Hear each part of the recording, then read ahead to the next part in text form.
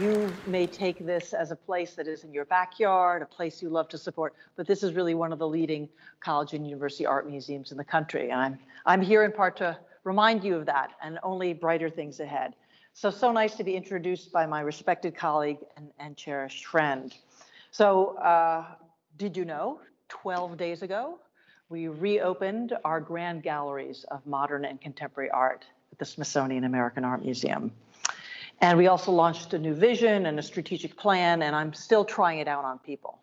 So our vision at the Smithsonian American Art Museum, which I think has resonances for you here at Rollins, is that SAAM is a place to picture yourself in American art. Place to picture yourself in American art. I think we're going to make t-shirts out of that as well. Uh, we've coming out of a three-year period of closure and reflection, and also a, a rethink of uh, American art and again from 1945 to today. And so I'm happy to share our insights uh, because again, I am keeping an eye on what you're doing here too, so that we can learn as well. Because for 2026, the semi-quincentennial of our country, USA 250, by July 4, we will have gone floor by floor by floor to provide a newer, more expansive uh, story of American art. Something to look forward to.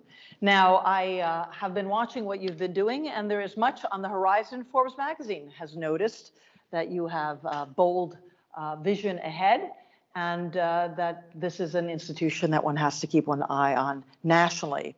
So I hope that uh, in some of my comments tonight, I can shed some light on our journey, but I'm always going to ask you, what is it? Where do you see yourself in American art? Which works of art? Um, what more are you needing from this museum that you're going to imagine together into the future? And I'm coming back for the opening, uh, by the way. I don't want to miss that. And of course, you have this great uh, motto, "Let there be light," here at the at the college. And of course, uh, you do this with great collections. Museums are judged on the caliber of their collections. And of course, you know this news and you've already shared some of the works, and, and some of the works are hanging here too. Uh, again, new collections invite you to have new um, connections between objects. And when you add something new, you have to ask yourself, what's missing? What do we need to strategically add? Again, um, uh, I think uh, Tennessee Williams says it's the kindness of strangers that we benefit from here at museums with these transformational gifts. And yet you need to be strategic about what you're going to add as well to make the most meaning um, out of uh, what you hold. And also to make meaning here in Florida, in this college environment. Uh, how is it that you need to see the future as well? So I want to uh, talk a little bit, um, as Ina said, about the evolving definition. Where is American art going? And language is important. Uh, when you enter the lovely Alfond Inn, and even entering this museum, there's a lovely neon piece by Joseph Kosuth that says, uh, importantly, that uh, language must speak for itself. So let's take a look at language for a moment here. How do we think about American art versus art of the United States? Uh, so this is actually hot off the presses. This uh, little note is in a catalog at a recent exhibition at the Metropolitan Museum of Art. And again, language is important, how we identify ourselves, where do we draw the lines, because we also live in the Americas uh, as well as the United States. And then the second question that we're all grappling with, and both personally, you know, what is my identity? Who do we determine is an American artist? And more and more, we think about American art and global connections. We are linked uh, to so many places in the world. Many people come here or have come from here to tell the American story. So I would tell you more and more, we're interested in that last category of who is an American artist, one that has influenced American art as well, too. Uh, preferably that has also uh, lived uh, in this country, too. And again, to language, um, uh, wait, I'm going to go back for one second. Uh, one of the important things about American identity relates to a colleague of ours, Arnold Lehman, the former director of the Brooklyn Museum, says the number one book that art museum directors and maybe college presidents should have next to their bedside table is the US Census report. We are a changing country and we need to change to prepare for all that is coming. And I know Rollins has uh, a, a, a undergraduate and graduate population that is shifting like America. Uh, from the website, some almost 60% white, some 20% Latino, 6% African American, 4% two or more races, kind of a, a newer category under census categories, some 4% Asian, lesser Native uh, Hawaiian and, and, Native American, and then an interesting category, since this is a school that attracts so many people from around the world, 10% of the Rollins uh, college population are U.S. temporary residents, again, coming to coming to school here too. So that again adds to the bigger story and diversity of Rollins and what they expect from their art museum.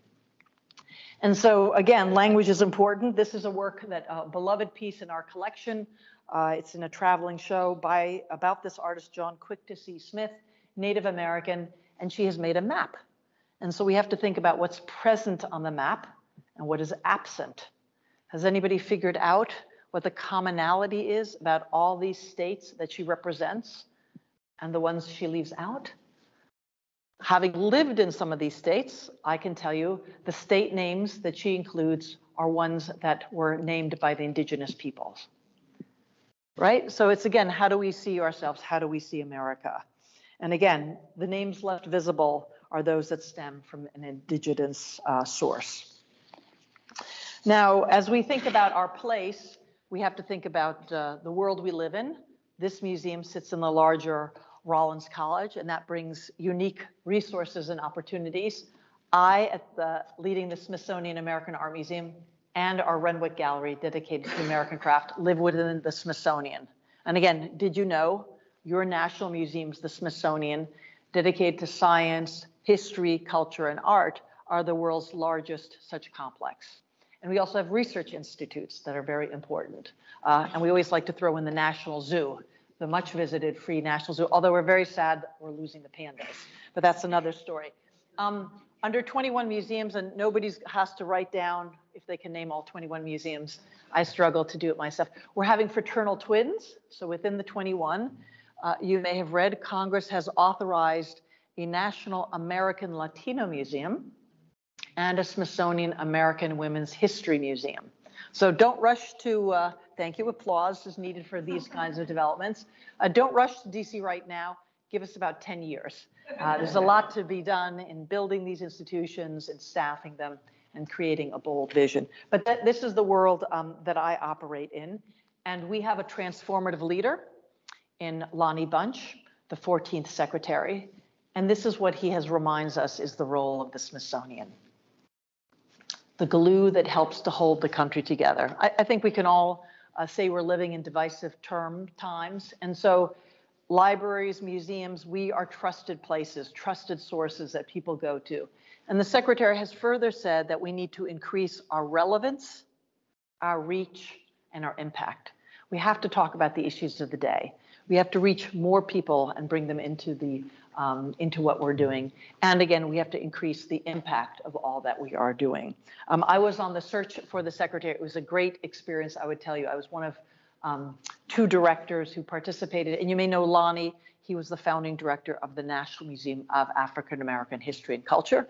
As he likes to say, gee, I, I built one new museum, and now that I'm secretary, I get to build two new ones.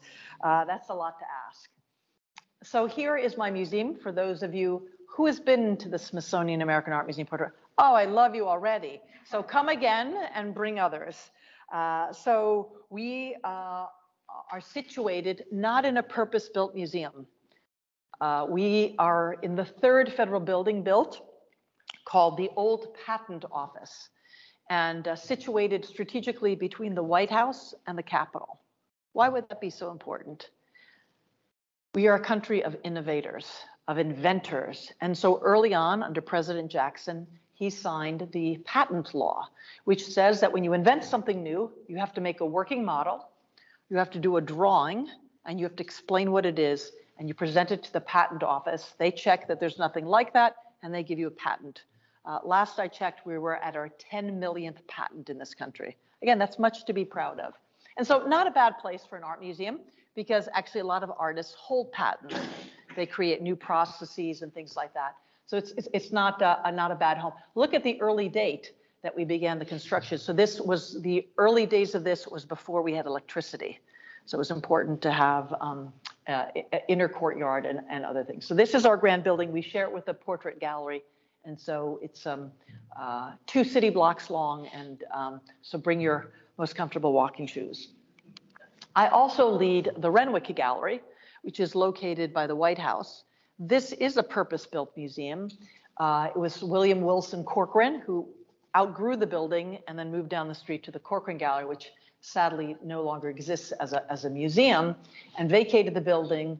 Uh, and then, thanks to Jackie Kennedy, who saved it from destruction, from being turned into a parking lot, Lyndon Johnson gave the building to the Smithsonian. And, and literally about 50 years ago, uh, it became the Renwick Gallery dedicated to American craft.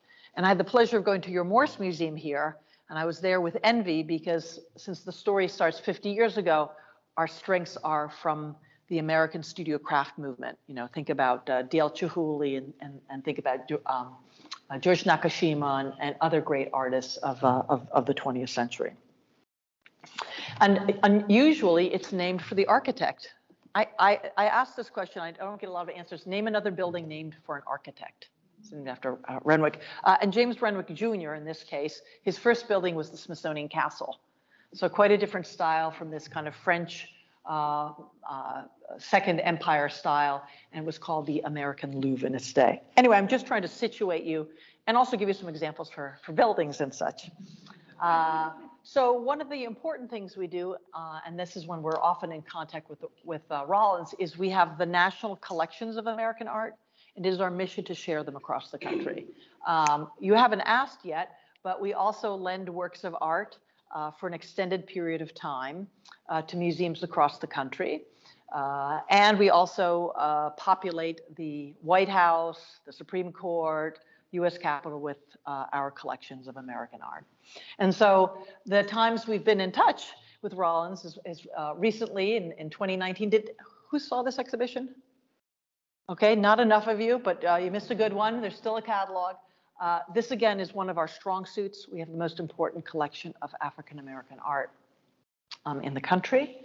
And then a little longer, uh, ways ago, 1998, one of our core collections, uh, this uh, Sara Roby uh, collection that was here. And um, this is one of our three Edward Hoppers. And I can tell you, when our Hoppers are out of the building, I hear about it um, as well. And together with both buildings, we are the fourth most visited art museum in the country. Uh, and again, a critical aspect of our work is to share the national collections. So I think we need to shift into this present moment. Uh, we're living during a really historic, exciting time. Sometimes it seems a little unfun to see what's happening on the news in your nation's capital. However, artists are confronting history are commenting on history. And this is a lovely uh, neon flashing piece. And again, where does neon sit? Is it on the craft side? Is it on the fine art side? It doesn't matter. These definitions are less relevant. Um, but we're living in this unimaginable future, which is now, which is which is this present moment. And so we need to update the story of American art for this present moment, right? The last reinstallation we did was in 2006. And so we're going to be finished in 2026. That's 20 years ago. I think the world feels different. Um, it certainly feels different post-pandemic and, and uh, even trying to remember uh, pre-pandemic. And so one of the things we did as we started this journey, and I'm sure you are thinking about this too, is to go to other museums. How are other museums representing American art? So notably the MoMA, and some of you have may been there since 2019, has uh, made some big efforts and rethought their collections. Not only did they expand, uh, but they really made a commitment to exhibit significantly more art in new and what I would say notably are interdisciplinary ways. I think museums are less paintings go over here, sculptures go over here, photography goes over here. No, I think we're mixing more because artists worked in more than one medium and these artists were living all at the same time. So sometimes we have boundaries for perfectly good reasons. Photography needs less light than a painting and such. So this is again something that MoMA is doing. They invited the artist Amy Sillman and said, what is it that you love at, in the museum? And let's put it all in one room. And let's look at the collections through your eyes, through your perspective. Uh, then we went to the Philadelphia Museum of Art too. And again, I took all the curators, I took some of my donors, and they have done a beautiful job with their American art galleries more recently in 2021 and have done these beautiful things with their collections. So uh, in Philadelphia, they've really thought about telling the story of Philadelphia in the days it was the cultural capital um, uh, of our country. And so focusing on these great Philadelphia artists. And look what fun they've had um, can anybody guess? Is that a real step or not a real step? It actually is a real step, which the museum filled in where the painting ends. And so again, what do you see and what do you, and yet look what they have paired it with. They've paired it with a very important portrait overlooked of an African American to, to, to invite in more people to see themselves represented at the, at the museum. So much that we liked and some things we didn't like at, uh, at these institutions. I also happened to, uh, for my resume, uh, was in the Pacific Northwest, but I came back in 2022 to see how the Seattle Art Museum thought about their collections, thought about what stories they should tell uniquely.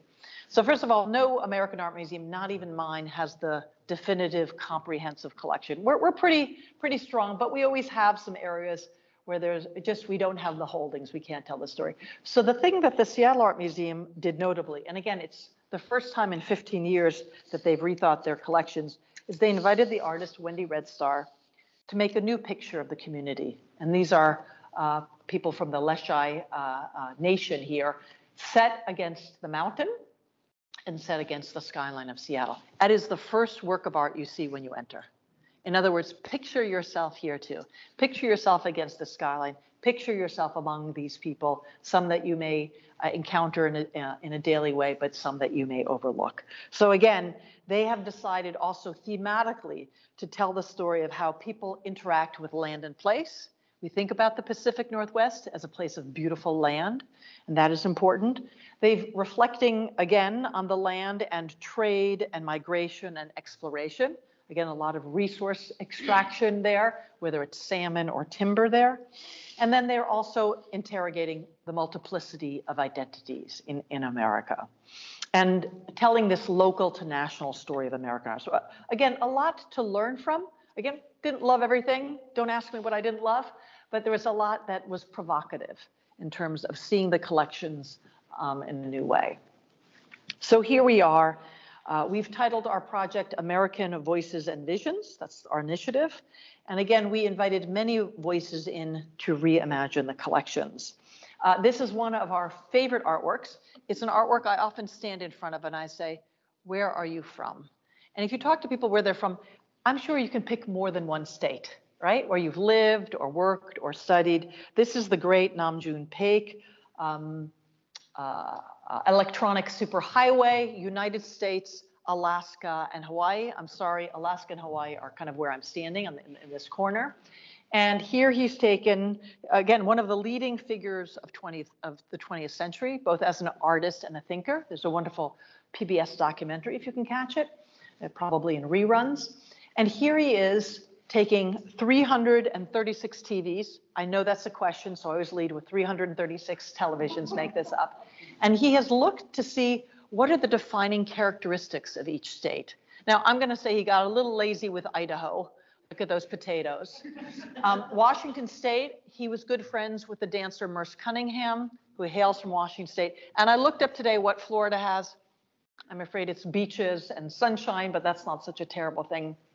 Interestingly, DC, the nation's capital, has a camera that looks at you. And suddenly you are part of this big American nation. Now, whether you call it surveillance or whether you're included in all of this. Again, this is one of the marquee works and is really important in thinking about the stories that we wanted to tell. Because again, in the modern period in American art, it's just an explosive time of creativity. Again, look at these materials quite unusual in terms of uh, what we might expect in a museum. And as you think about your reinstallation, uh, think about uh, the ABCs, right? You have to think about the art. You have to think about the building. Uh, and again, I'm envious, purpose-built building is always best. Uh, think about the content and the context. What are those Florida stories and what are those collections that are transformative, that you go in to the Rollins Museum and you know where you are and you know why it's important and you know why people love this place and care about it. And how does it sit in a college environment? Again, a unique, uh, important twist. Uh, think about uh, installing things with humility. Whose voices need to be included in ways you have not done? And know that it's about big ideas, especially if you can't tell a linear story. What are the big ideas that are uh, a part of our um, time in America? So, as I said, we just opened the other day and we began the process with a white piece of paper. And I'm going to be quiet for a moment so you can read what guided our thinking.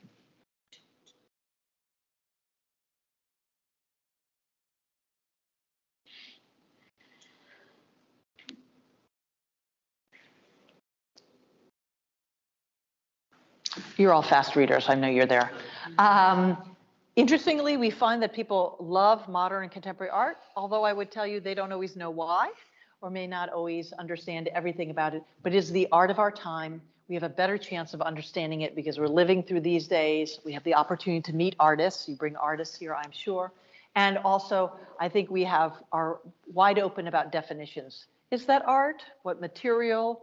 Do you have to be a trained artist or could you be an uncredentialed self-taught artist? Again, different ways of, of opening up the conversation and, and revising definitions. So again, this is our, our building, a different view with this great courtyard. And this is at the very top of the building, um, our modern contemporary galleries. And I just want to share with you the history of the building just ever so briefly. Again, this is when it was the patent um, uh, uh, office. And again, 100,000 people a year in the 19th century walked through this building to be inspired, to come up with a, with a better invention. And luckily, we still have some of these great patent models still in the building, too. Uh, there was a, uh, we moved formally into this building as the uh, American Art Museum with a slightly different name in 1968. And these are these grand spaces again, uh, divided up and, and beginning to tell the story of American art. Uh, also, uh, we had to rethink objects. Some of our collection had been outside. Uh, this custom uh, work by Calder for our 1968 opening relating to water lilies. Um, this beautiful piece that uh, rewards you everywhere you walk around it was originally outdoors, and now we have brought it um, indoors. Uh, and it lives just as well, I'm happy to report. And so these were the galleries when we reopened them in 2006. And again, light and airy, lots of windows. But look up, there's a lot of junk up there on the ceiling. Um, it was actually problematic to have artworks in the middle of the hallway in terms of touching and you know, moving carts around and things like that. Look at this little square around the Duane Hanson uh, figure. You think that stopped people from touching? Afraid not, afraid not. So here is what we have done today. So we actually closed more windows. So we doubled our hanging space, not one square inch of new space. We took the walls up higher, again, uh, giving you a lift into the space, and we freed the columns. The columns are there anywhere you you look, but let's make them an alley. Let's make a vista, and then important to have uh, great anchor artworks. You see the Calder, how perfect that looks, and it's got a little company of other sculptures there too. So another thing we thought as we were building this is what do we not have good space for? Uh, art is changing all the time, and we're living in the great age. Uh, some 20 years ago was the first time YouTube was launched, and now there are billions and billions of people watching videos. And just as I shared with you, Nam June Paik, we've made a dedicated gallery, a black box of sorts for video work. We call it time-based media. This is an artwork that unravels, unspools over time. And so we interestingly made a black box, but we also made a gray space. Turns out a lot of these video artists have taken photographs, have works on papers and drawings, and so you can have a bit of a conversation. And that's certainly true for the Carrie Mae Weems piece. Oh, I forgot to tell you when we were looking at that historic image, when the muse- when the patent office was built, it was one of the largest convening spaces in Washington, D.C. So that's where Abraham Lincoln held his second inaugural ball, inviting 4,000 people, having a great celebration. He kind of ran out of food, but that's another story. Um, and he would be assassinated a month later. And so the, uh, we call these galleries the Lincoln Galleries. Uh, and so this piece by Carrie Mae Weems reflecting on Lincoln and Lonnie and me was felt so perfect, right? The perfect piece for the perfect space for the for the history of the building.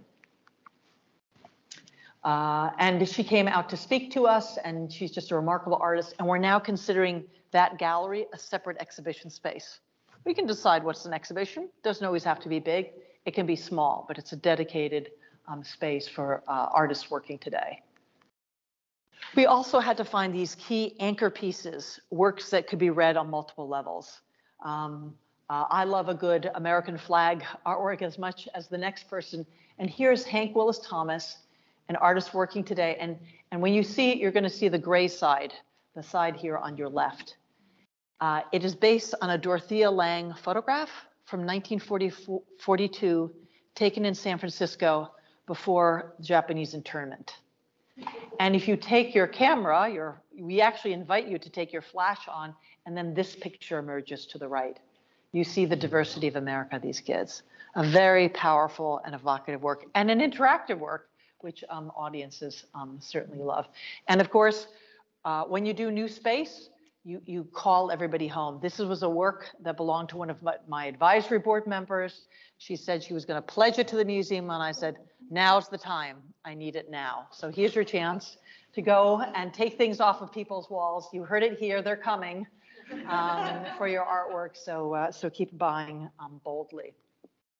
I want to show you something that we've done too, which is um, added artist voices.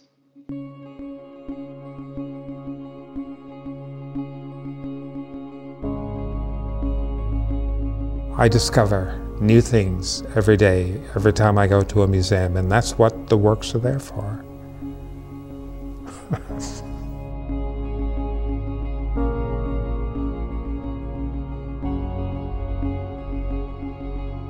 Can I tell a story? Can I make it a good story? Can I pull you from the other side of the room? Those are all things that I try to do with my artwork. I'm more interested in presenting um, the stories and the experiences and the histories that people, real people, have experienced, uh, but we haven't heard. I'm the beneficiary of, of learning from so many different people, but also making sure that I amplify those stories back out in the community. I continue to love the relationship between the aesthetics and the politics and, and, and the way in which art, the art that I make makes me think and also enjoy the beauty of the image that makes me think.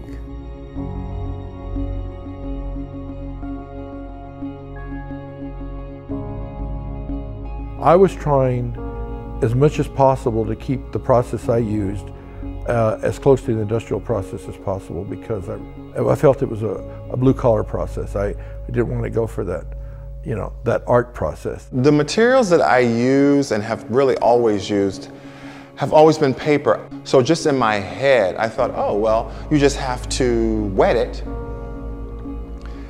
so that it can move like paint. Part of the job of the artist is to pay attention to what's, what, what's being said to you, what's being told to you, right? Um, and then using, using all of that um, so that you can actually get out of the way of the work and do the work that the work needs. The most powerful works are the works that do not dictate what they're about. Art speaks of who we are at our very best. And you go into a museum and you can see that over and over again that divine spark, that humanness, that heart.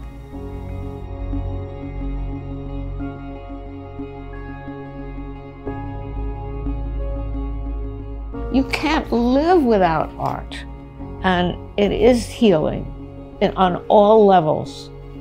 Um, the process of it, making it, looking at it.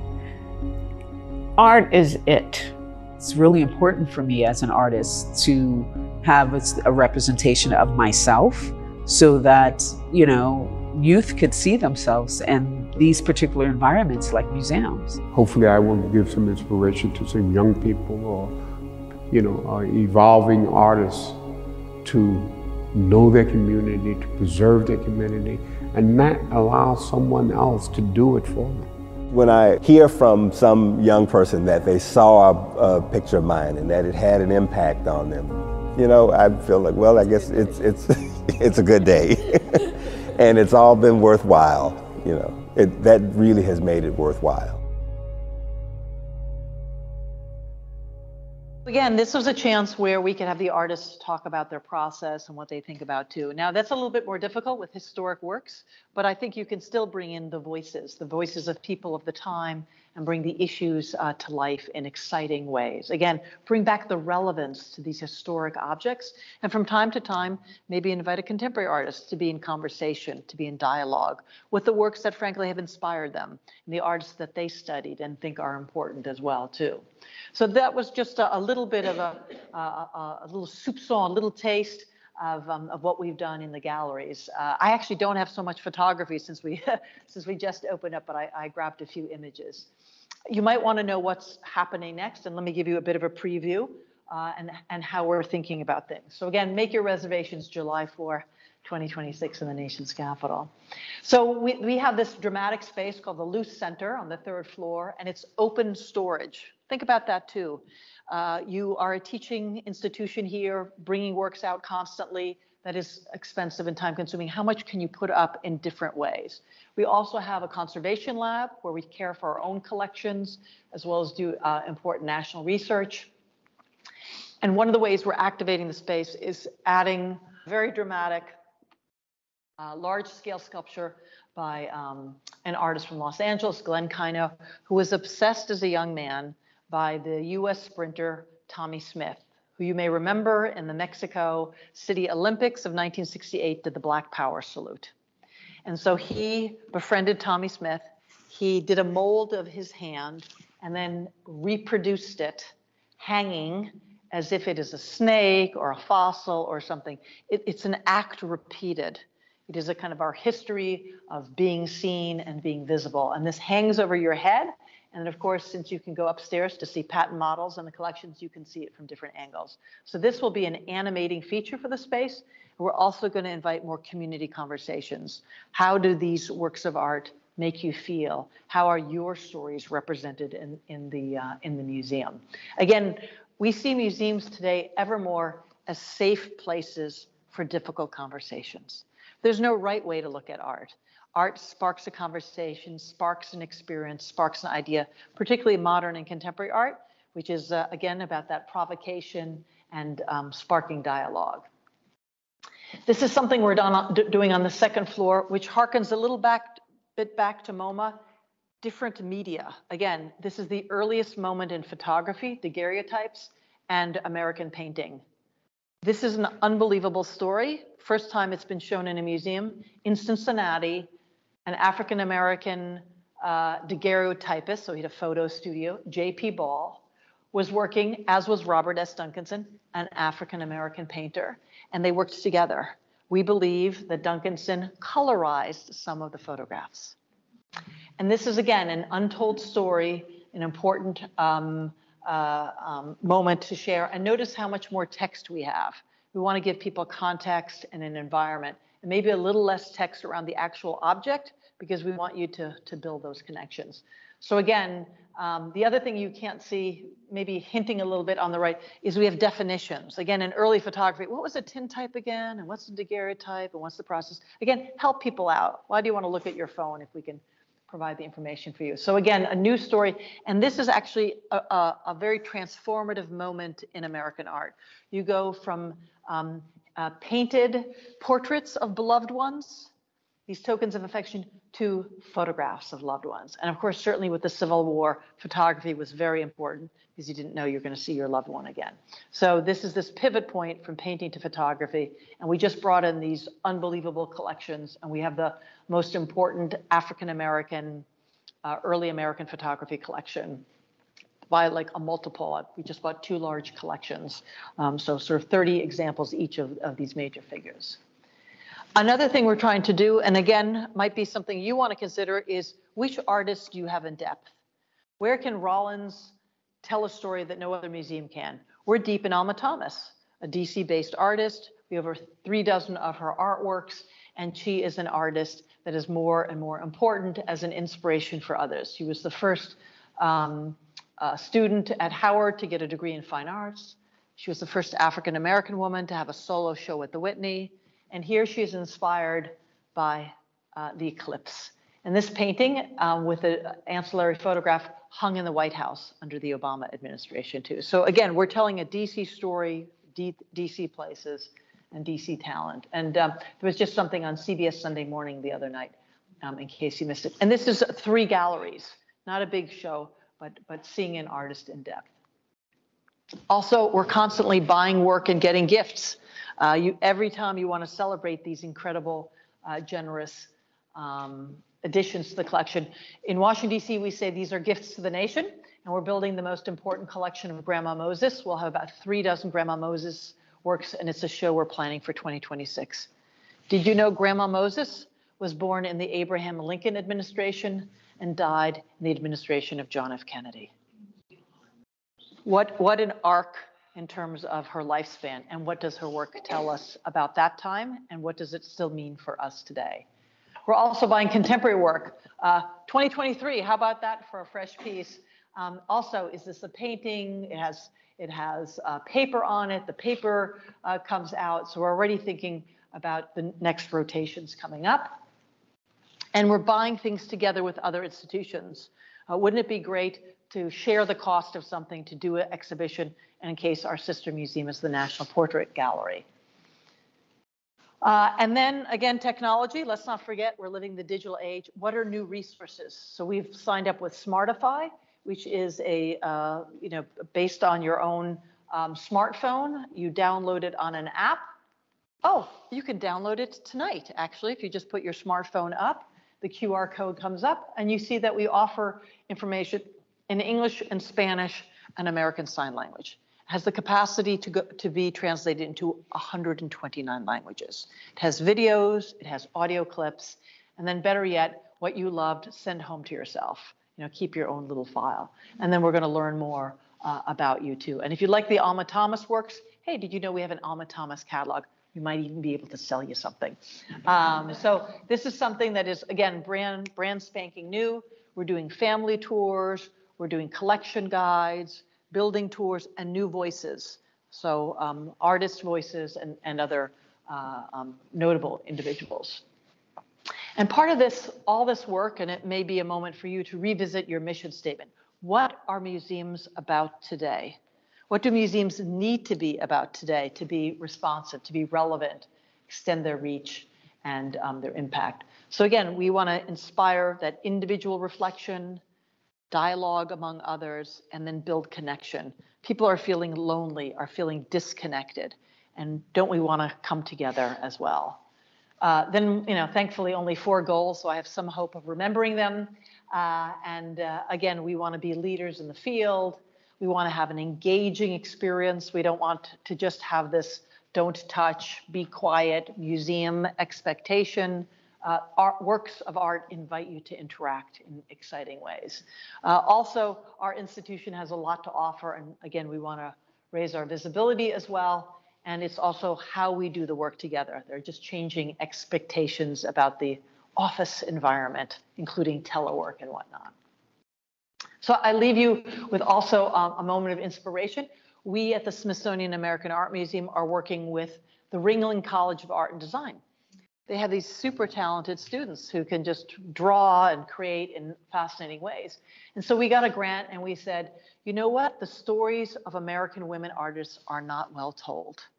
Why don't you do some graphic novels for us? Pick an artist, pick a style, and tell the stories of these artists. And they're online for free although some days I would like to sell these uh, online for free. And we're in our third iteration of working with, with these students on. And the students are learning to be on time and deliver materials and to um, get revisions and such.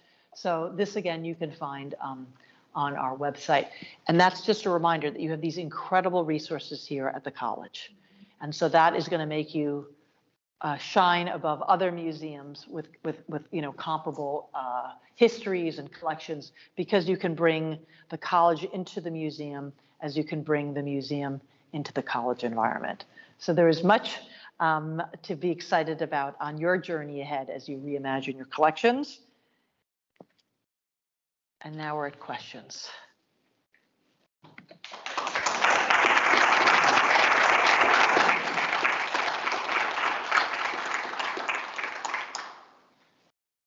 So I always like to say, what questions do you have? Not do you have questions? I know you have questions. Uh, what did you maybe find surprising in what I shared?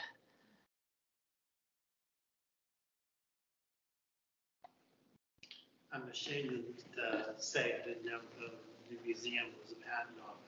Oh, well, yes, uh, uh, we haven't done a good job of telling the story of our building, the old patent office. People are interested in architecture. They are interested in how these buildings came about, especially in Washington, D.C. We have a building with columns that looks a lot like other federal buildings. So am I in the Treasury Department or agriculture? No, you're in the old patent office as well, too. I was surprised simply to learn of the existence of an art museum within the Smithsonian, which I didn't know existed. Thank you, because if you know the history of the Smithsonian, it was founded by James Smithson, an Englishman, a chemist, never came to America during his lifetime. He's here now. We moved his bones. He's in the Smithsonian Castle in the in the crypt, um, and he left money for the increase and diffusion of knowledge among men, but we've dropped that among men part. Increase in diffusion of knowledge. It sounds like old language. George Washington used that language in his second inaugural address. And so we are also a research institute, which um, Ina alluded to. We, we educate the next generation of scholars in American art. So research is important. But yeah, art museums, uh, but we're the first federal art collection. We actually predate the Smithsonian. We sort of got folded into the Smithsonian. Question about when you talk about what's missing or what voices aren't being heard, and how do you how do you determine what that is, especially if perhaps um, the voices that are being heard are people that may be, may not may not come to the museum, may not feel that the museum is for them. Like it's almost like this almost a vicious circle. So how do you break that? Yes. Well, uh, sometimes our buildings are austere or imposing. Sometimes there's an admissions uh, price. We were just talking earlier with the, the terrific staff you here have here. $30 is what it's going to cost to go to MoMA in New York. Um, uh, so we have barriers which already say maybe don't come. So the most important thing actually is if you come as a child, if you're comfortable coming. And so I usually end my talk with bring a child to the museum. Museums are intergenerational spaces. Where, where can you go? Do you really want to go to the mall? Buy new sneakers, well, that might be fun. But is there a place you can tell stories about your family and your values and things that inspire you, that can spark curiosity and build connections? Uh, and so it is really important to make people feel comfortable. And again, sorry, I don't work for Rollins, but I would tell you one of the things that's unique here is that if you have a great college or university art museum, there's hope that these students will find art is important in their lives. It is an introduction to new possibilities, new resources, and so I'm expecting a few trustees in the future to be Rollins College uh, graduates because they've had this important formative experience. So you got you got to get them in early, um, or find something. Uh, that's why we also have to be on social media, right? If there's something happening, then we have to kind of make some reference to the collections and, and see if we can eh, be. Yep. Yep. But you know, we're all excited about Beyonce's world tour. At least some of us are. Beyonce's an art collector, right? So I'm waiting for her to talk more about art collections too.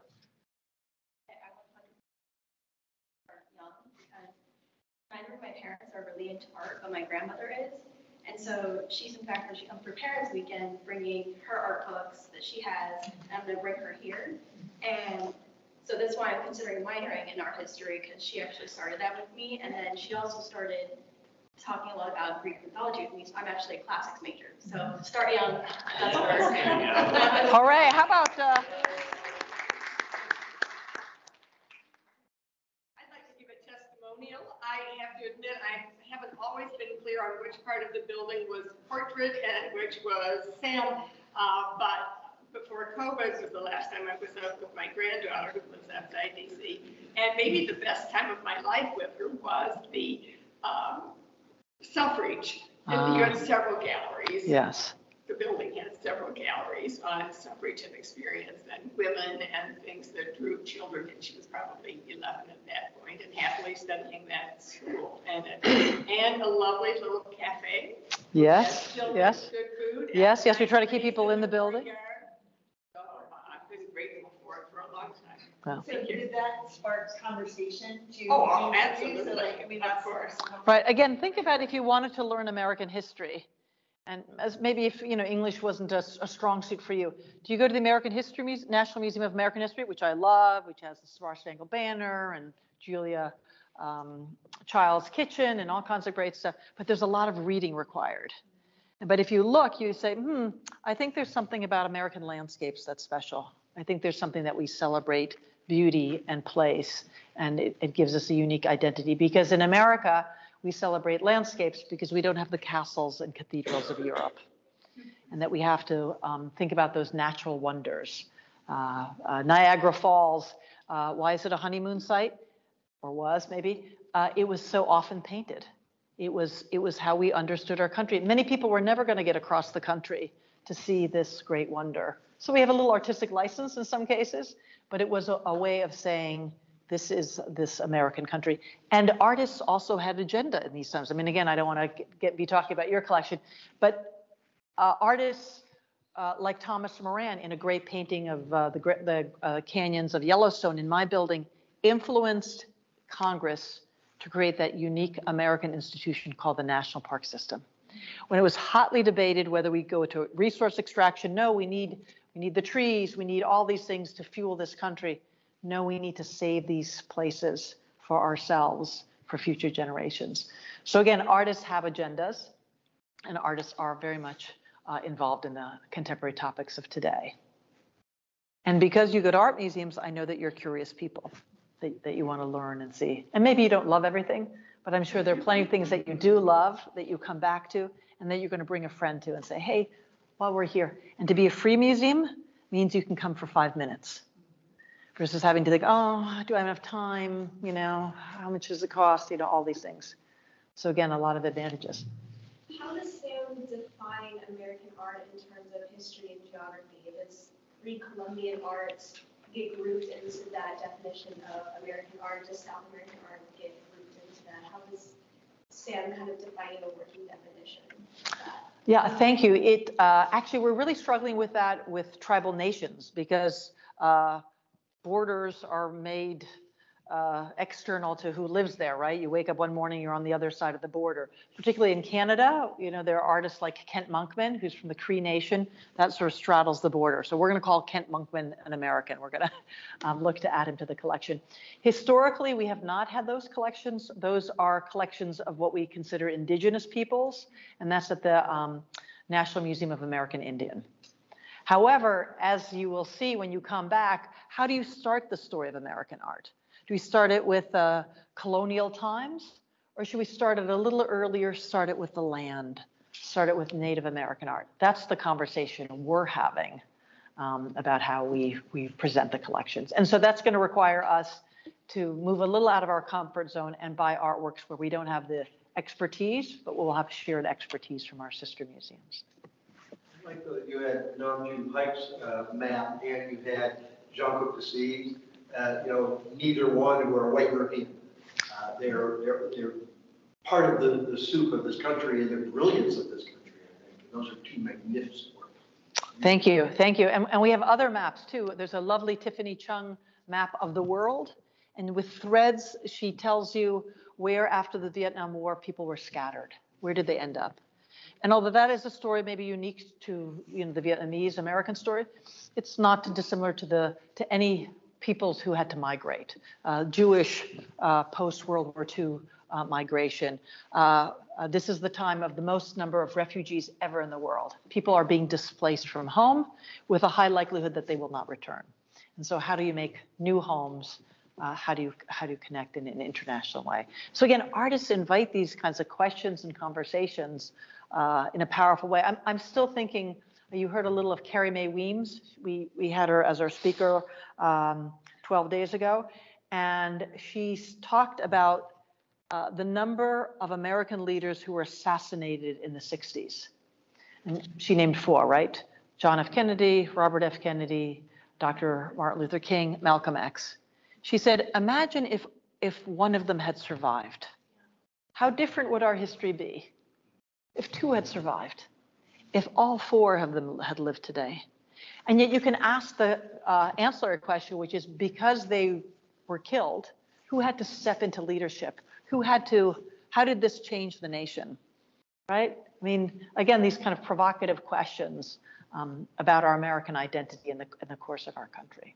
So I remain ever hopeful about the direction of this country because I'm so enamored by what contemporary artists are showing us and commenting about our history and also offering a brighter and maybe more just future for our country. She's about to do a two-day convening at Syracuse University about monuments, which is such a controversy in this state and others. Yes. And I know she'll do a tremendous job. She's an incredible speaker, but a convener of dialogue and thought. Yeah. yeah.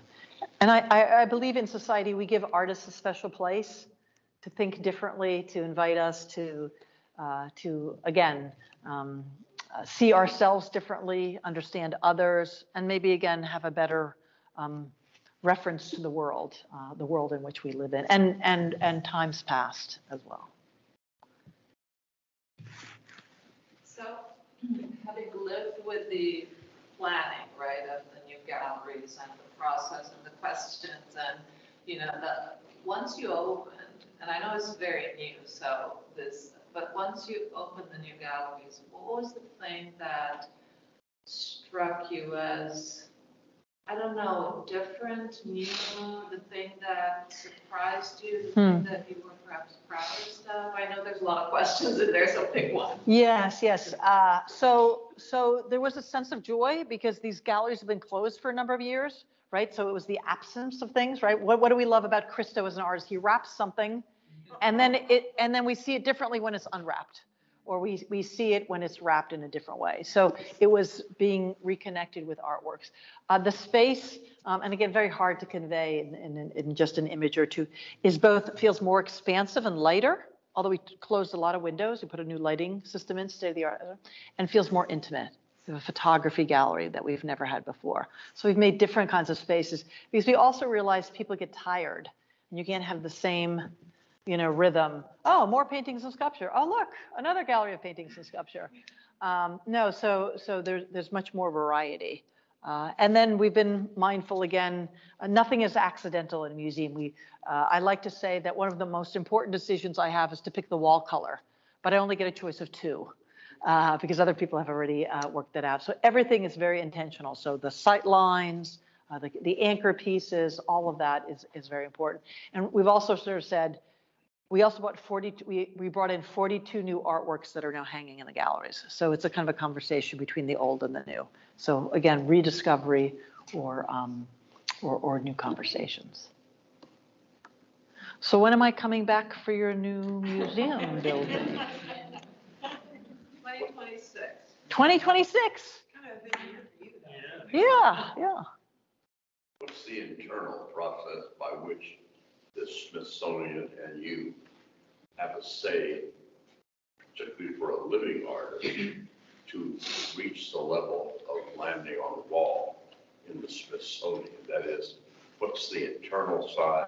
Hmm. How is it reached? Are there, you know, is it, it's like a jury of sorts, but you're the museum jury. Yes, I, I would imagine the process, having worked in a number of museums, is, is, is essentially the same. So you have your curatorial team. I have 13 curators. Uh, they have areas of specialty, but sometimes they are in agreement. We really have to buy this artwork. You know, we really have to get this artist. Then they come and outnumber the director, come into my office, and they make their case. And um, generally, I, you know, I'm I have to be careful about what my own personal taste is with what the case they're making and why it's important. I ask them, what does this new artwork sit in conversation with something else, right? What new story, what new avenue does it open for us? And then I also say, how soon can we get it up on the walls, right? It's not fun to buy things or get gifts and not be able to share them as well. Uh, so I think the artists have to be of a certain stature, uh, again, they're going to galleries around um, the country, mostly New York, of course, being a hotbed for art galleries. And then, of course, they're seeing what other museums are doing and, and are interested in. And then sometimes one artist may recommend another artist. And that's a, a fruitful path, too. And also, it's collectors. somebody says, I've got this great work, we'd love to give it to you. And then you have to sort of say, does it make sense for us? Because we're also in the forever business. If you give it to us, the national collection, it's really not going anywhere.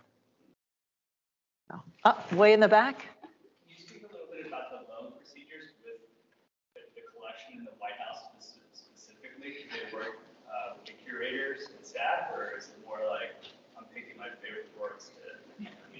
yes, actually, uh, if you happen to be talking to a cabinet secretary or somebody, one of the hidden benefits of the job is they actually get to furnish their offices, which are generally old and, and quite grand. And so we, we have a book of sorts and so, not surprisingly, somebody say, "I'm from. I want uh, a landscape from Tennessee. I'm from Tennessee. Okay, you know, what, what, do we what do we have in there? If not a Tennessee landscape, a Tennessee artist or whatnot. Now, um, so that we have a bit of a list of what's available.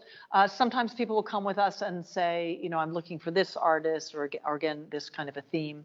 Uh, it has to be in good condition that I can send it out. So mostly paintings because other works on paper and photographs and such, I have to rotate and it's hard to be doing this back and forth. Uh, I have to make sure the frame is in good condition as well too. Um, I don't like things over fireplaces. There are working fireplaces, believe it or not, at the U.S. Capitol and such.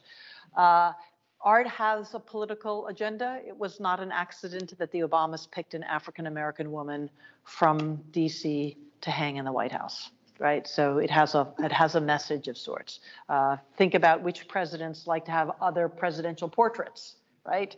Um, you know who they align themselves with. The National Portrait Gallery also sends out um, a lot of portraits as well too. So uh, they're informed that this is an opportunity. Sometimes there'll be a curator associated with with the building, the Capitol or the White House. Uh, the Supreme Court too. Ruth Bader Ginsburg, just between us, had the best taste of um, her fellow uh, uh, justices and she had a Josef Albers homage to the square, which we borrowed once. And when I saw her again, she says, "Don't take that from me again." so, uh, so yes, we um, we lend. So it's it's it's a bit of a conversation too.